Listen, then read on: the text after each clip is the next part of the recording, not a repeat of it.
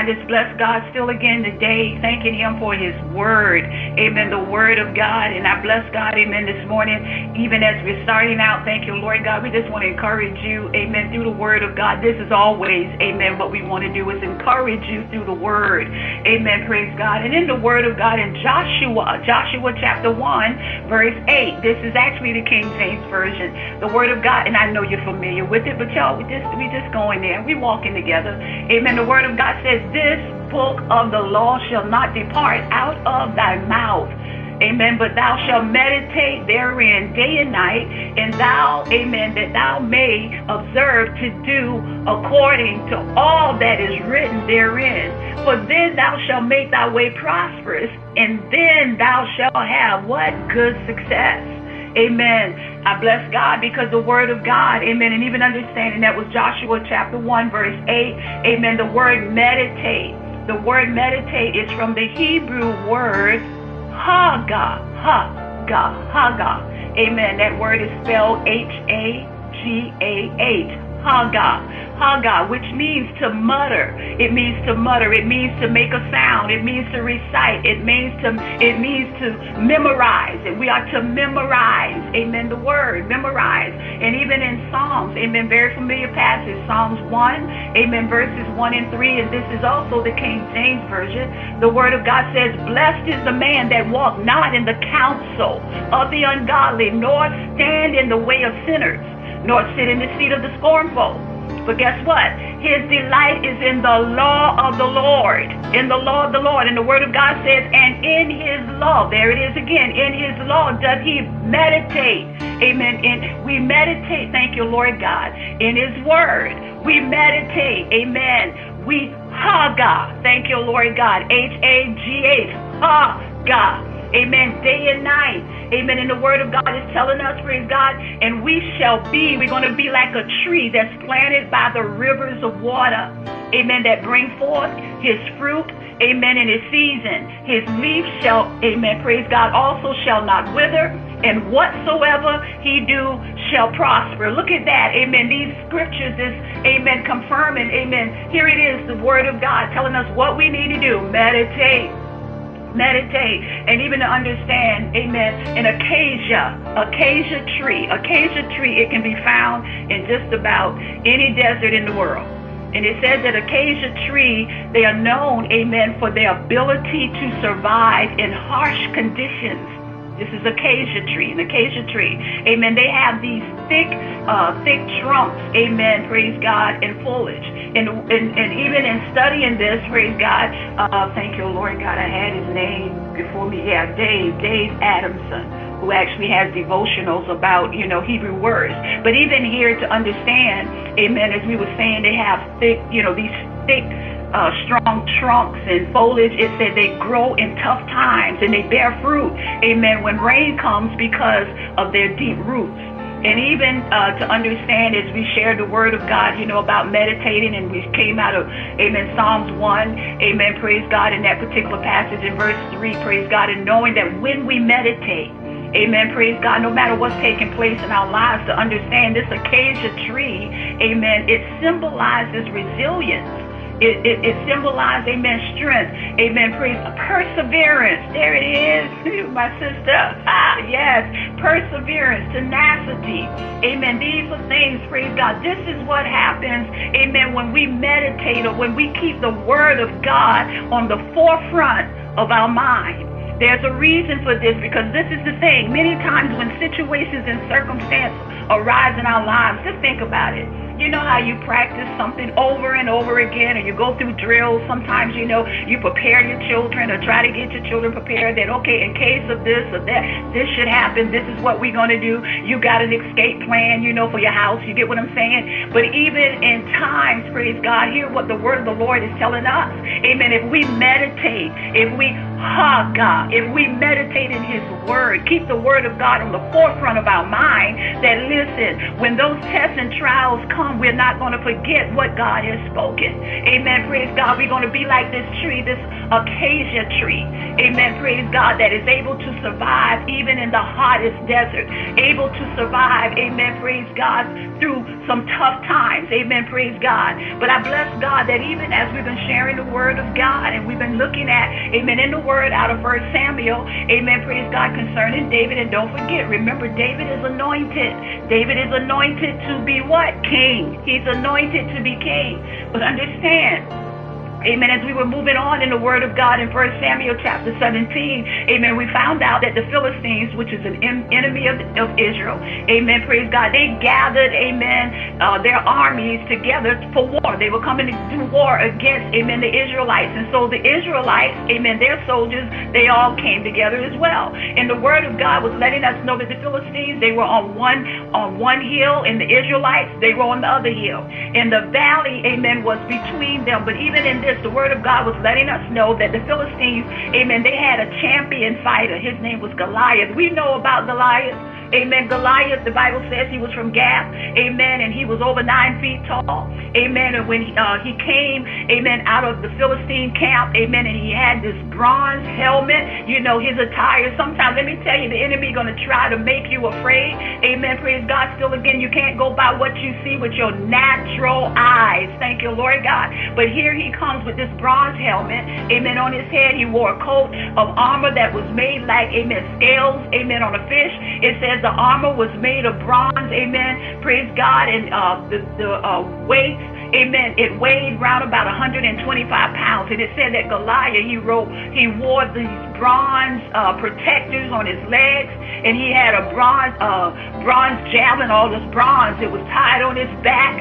Amen. And it said that the wooden part of his spear, uh, on his of his spear, it was as big, amen, as a weaver's rod. In other words, it was strong, it was long, amen, rounded wood pole. But understand that even the spear, the blade of it was 15 pounds. So here comes Goliath. But, but not only this, he had his helper who actually went in front of him carrying his shield. And so each day, what Goliath would do, he would come out and he would shout, you know, these challenges to the Israelite soldiers. And even as we said, he asked the question, why y'all, you know, why all your soldiers? Why they lined up? Amen. Why they line up for battle? He said, You are Saul's servants, you know, and I'm a Philistine, so why don't you choose? Choose you one man. Send him out here. Send that man out here to fight me.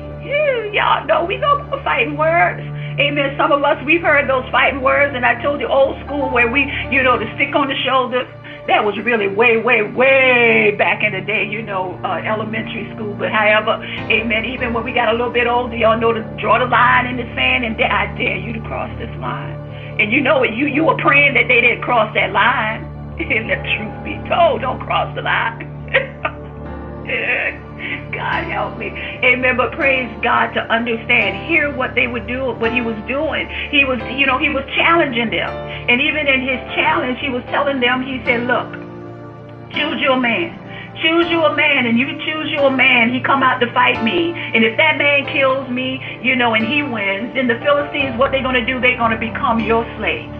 But if you kill, if I kill, if I kill, you, you know, your man, your man, and and if I win, praise God, you're going to become our slaves and you will have, amen, to serve us. And so the Philistines, amen, praise God, even as they were standing there, he was making fun of them. Y'all, we know about trash words. All of us, amen, some of us may have been trash talkers and some of us have received the trash, amen, talk that came from people. But still to understand, amen, he dared them to send a man out there to fight. And the word of God was letting us know that the Israelite soldiers, when they heard Goliath say this, they they were afraid. But even as we shared this word with you on yesterday, to know we are no longer slaves, amen, to fear. In the word of God in First John chapter 4, amen, First John chapter 4, verse 18, King James Version, the word of God tells us there is no fear in love, but perfect love casts out, amen, fear. That's what perfect love do because fear, amen, it has torment. Fear has torment. Thank you, Lord God. And even as the word of God says, he that fear is not made perfect in love. What we're saying is this fear is associated, amen, with punishment. That's what fear is. It's associated with punishment. And those who fear punishment, they have not fully developed amen, a relationship with God. We have developed a relationship with God. We are saved. We have given our life to God, and we have no reason to fear, amen, torment. Thank you, Lord God, because of our relationship. Who are you in relationship with? Thank you, Lord God. If you're in relationship with God, we ain't worried about this. Amen. But I bless God because still, even in the Word of God, we understood that the three oldest sons of Jesse, Amen. Praise God. They went with Saul to the war. Amen. Praise God. Amen. And we understand, praise God, that David, David was left with Saul. Amen. Praise God, who was, you know, became, amen, an armor bearer for Saul. But from time to time, he went, praise God, he went back, amen, to take care of his father's sheep in Bethlehem. But even in the word of God, and this is where we are right now, thank you, Lord God, we push it. Amen. But I bless God for his word. Amen. And still, even in the word of God, thank you, Father, that as in, in Samuel, first Samuel, praise God, chapter 17, amen, praise God, this is what happened where his father sent him to uh, take some food. Amen. But also check on, you know, to see what was going on. And as David go, but understand, he did not leave his sheep unattended. He had somebody watching those sheep because, amen, praise God, David was a shepherd. And even as the word of God says, David was a man after God's own heart, but also keep in mind, David was anointed, thank you, Lord God, to be king. And I bless God because even as David goes, amen, he makes it there, amen, and he hears, thank you, Lord God, he hears, amen, all of this uh, commotion, praise God. Let's look at it, amen, praise God. Verse 23, it says, while David was taking his brothers, uh, uh, talking to his brothers, the Philistine champion, he came out, amen, praise God, and there was Goliath. Goliath. There he was again, and he shouted, Amen, against Israel as usual. And David heard. David heard what he said. Amen. Praise God. And when we look at the word of God, amen, down in verse 26, it said, David asked the men that was there, he said, What did what did he say? Y'all know what what what is what what are you saying? You know, and here it is, amen, praise God, to understand, amen, there was, he heard that there was a reward for whoever, amen, was able, praise God, kill to kill, amen, this this Philistine, amen, and take the shame from Israel. Praise God. So even as David is inquiring about this, his older brother, the Bible says that his older brother Eliab, amen, Eliab, Eliab, thank you, Lord God, Eliab. Eliab, I have to slow it down, y'all. Eliab, amen. He gets upset and he's upset with David, amen. Well, what are you here for? Amen. And, and David is asking the question, What did I do now? What did I do? I didn't do anything wrong. I was only talking, you know, and he wanted to find out, amen, what was going on. Thank you, Lord God. And even as they answered, praise God, amen, praise God, of what, amen, from what David uh, actually heard. And even David, amen, he said, David, amen, praise God. Some of the men, praise God, as David, amen, he was talking and he talked about what it is he had already done, amen, because he was, amen, a shepherd. Amen, praise God. He talked about how it was, amen, at one point in time, amen, thank you, Lord God, that when uh, the, the uh, uh, animals, the, the bear, amen, and the lion came, amen, to the flock, and David went after him and killed them, amen, with his bare hands. His bare hands. But you got to know, praise God, that word got back to Saul. Amen. And Saul wanted to know who. Amen. Praise God. Let's go in the word. Amen. Praise God. Let's go in here. I want to put it in your hearing. Thank you, Lord God. Verse uh, Samuel. Amen. Praise God. Let's pick it up. Amen. Thank you, Lord God. Verse 34. Thank you, Lord God. Amen. Thank you, Lord God, in the name of Jesus. Let's start at verse 30. I'm going to start at verse 33. Amen. The word of God says, and Saul said to David, Amen. No, let's let's back it up just a little bit. Amen. Because we're telling you this story, but I know you know the story, but let's just put it still again. Amen. In your hearing. In verse 31, it says, and when the words, amen, verse 31 in, in chapter, amen, 17, it says, and when the words were heard, which David spoke, they rehearsed them before Saul, and he sent for him.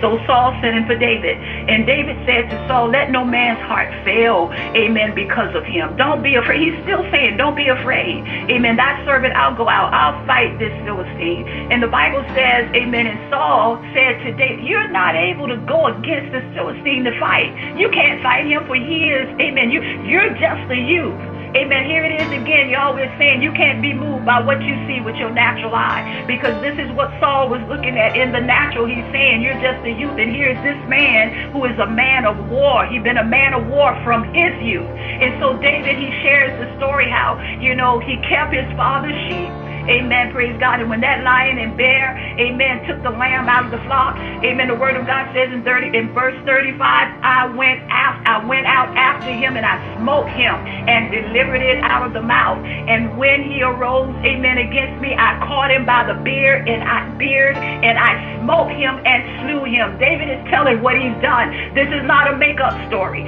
This is what David has done. And still to understand what the word of God says, amen, that David was a man man after God's own heart. Amen. Thank you, Lord God. And in verse 36, the word of God says, Thy servant, he said, I slew both the lion and the bear. And this, here it is, y'all, in verse 36, this uncircumcised Philistine shall be as one of them, seeing that he hath defied, amen, the armies of the living God. What is David saying? David is saying when he calls him this uncircumcised He's saying he ain't got no relationship with God. What? Thank you, Lord God. We better recognize this morning. We got to know and understand. And this is why, still again, we're saying no longer are we a slave, amen, to fear. Thank you, Lord God. We are in relationship with God. We serve a mighty God. Thank you, Lord God, who's on the throne. We serve a God that is able to do exceeding abundantly above even what we ask or even think. And I bless God because there was no fear in David. David didn't, it didn't matter to him about Saul saying, You just a child, you just you just a small boy. Look, he's been fighting since he was a youth himself, and he's a man of war. So what? Hallelujah. That's what we got to get that kind of attitude. So what?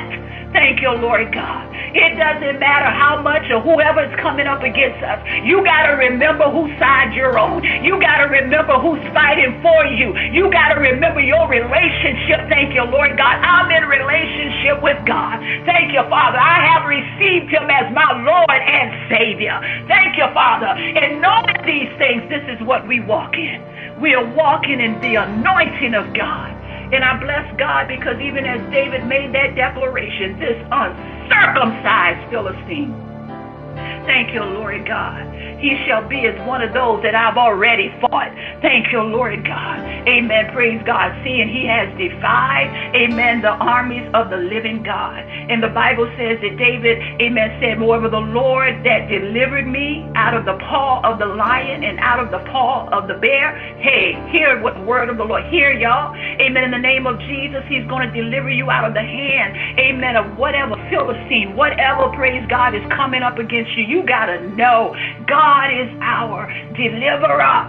He's our deliverer. Amen. What I want to say to you today, thank you, Lord God, because again, we see the time. Amen. Praise God. I value your time and I thank God, amen, that you take the time to come here on this conference line and you listening by way of YouTube. But I bless God in the name of Jesus. But what we want to say to you, meditate. Meditate in the name of Jesus. Meditate. Meditate on the word of God. And as you meditate on that word, amen, keeping the word of God on the forefront of your on the forefront, amen, of your mind, that even when things arise in your life, you're not afraid. You're not allowing, thank you, Lord God, what you're hearing. You're not allowing what you're seeing because, thank you, Lord God, amen, to understand we are guarding. We're guarding our ear gate, eye gate, mouth gate. Amen. Thank you, Lord God. Words that we speak out of our mouth We're not allowing what we see, what we hear, amen, to cause us to speak something contrary to what God has already spoken. When you know the word of God, that's what you're going to stand on. So, Father, we thank you still once again today, giving you praise, giving you glory, and giving because, Father, you deserve the glory. You deserve all the honor because of who you are. Sovereign God, ruler, maker of everything. Father, we bless you and honor you, Abba, our Father, our Father. You're able to say it. If you're not able to say it, thank you, Lord God. You need to fall on your knees, repent for your sins, and ask Him to come into your life. Make Him Lord of your life in the name of Jesus.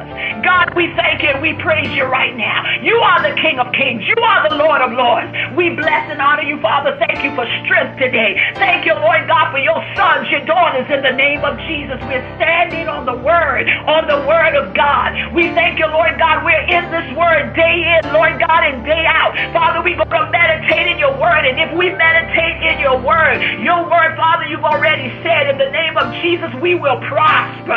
We're going to be in, in good health. Thank you, Lord God, even as our soul prosper. We thank you, Lord God. We thank you in the name of Jesus. Still again, we're going to be like that tree, Father, that's planted by the rivers of water. We're going to bring forth, Lord God, fruit in the name of Jesus in our season. We bless and honor you, Lord God, giving you praise in the name of Jesus. Our leaf is not going to wither. We thank you, Lord God. Whatever we do is going to prosper because we're in you. In you, our Savior. In you, our God. And we bless and honor you. Thank you for what, Lord God, Jesus has already done already done. It brings us right back to it. It is already done. What's already done? He did it, y'all. Jesus did it already. Thank you, Lord God. And again, just a reminder we walk by faith. We're walking by faith, saints of God. Thank every single day you get up, brand new mercy. Brand new. You ain't seen this day before. This is a brand new day, brand new mercies. Thank you, Lord God. We praise you for this day. Hold your head up. Thank you, Lord God. Now is my head lifted above my enemies. Thank you, Lord God. I thank you, Father, because it's you that causes us to triumph, Lord God, over our enemies. We bless and honor you this day in the mighty, matchless name of Jesus. Thank you again for your sons and your daughters. We praise and glorify you, Lord God. Thank you for covering us, traveling mercies. Thank you, Lord God, for those already in the workplace, our children, Lord God, cover. Keep them in the name of Jesus, the blood of Jesus. We continue in our prayers. We don't cease to pray. We're always praying and covering. Thank you, Lord God, our families, covering loved ones. You're covering that neighbor. You're praying in the name of Jesus. You're praying thank you, Lord God. And you got to believe the prayers that you pray and understand supplications that are being made before God. Amen. Praying always. Prayers, supplications. Lift it up. Lift it up before God in the mighty name of Jesus and know that God hears you. He hears, thank you, Lord God, the cries of his children. Thank you, Lord God. And this is still the confidence we have in him that if we ask anything according to his will, which is his word, his will is his word. And I thank God in the name of Jesus. We know that he hears us. And not only does he hear us, thank you, Lord God, but we have that what we ask of. And I bless God in the name of Jesus again. Thank you, Lord God, by the authority of the name of Jesus Christ, we render every demonic spirit, every attack of the enemy against us, our health, family, and finances helpless. It's still powerless. It's still inoperative and still ineffective, and we still decree and declaring, amen, the word of the Lord. Meditate. Meditate in his word and remember what he said. No weapon formed against you, it cannot, will not, and shall not prosper. Thank you. Hallelujah. Amen. Meditate on the word day and night. Amen. God is still in control. No weapon formed against you shall prosper. It won't work. It won't succeed or prevail. Listen, as you go throughout the day, I pray that you are encouraged by the word of God and the prayer coming from the one of God. Hold on to that word. It's so important that you hold on to God's word. Amen. The safest place in the whole wide world is in the will of God. What is in His Word? Listen, as you go throughout the day, be encouraged. Encourage others around you. Speak life and not death. Speak victory and not defeat. And know that you are way more than conquerors. You overcomers. You've been brought with the price, the precious blood of Jesus Christ. Live on purpose, live with the purpose, and live the purpose driven life. God bless you. We love you all to life. Go in peace.